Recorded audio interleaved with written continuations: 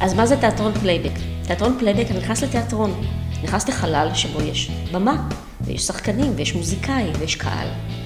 בניגוד לתיאטרון רגיל שבו אתה נכנס למחזה מוכתב מראש, כאן אתה נכנס למחזה חד פעמי, שאין לאף אחד מושג מה הולך להיות, כי המחזה נכתב על ידיך, על ידי הקהל.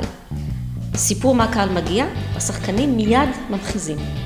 ממש מסיפור קטן אתה מקבל חוויה חדשה לגמרי. אתם מוזמנים ומוזמנות אה, לפסטיבל הפלייבק, קולות שקטים מקבלים במה. זה פסטיבל, אנחנו אומרים חברתי, אני לוקחת את האחריות על זה, ואני אומרת שזה פסטיבל פוליטי.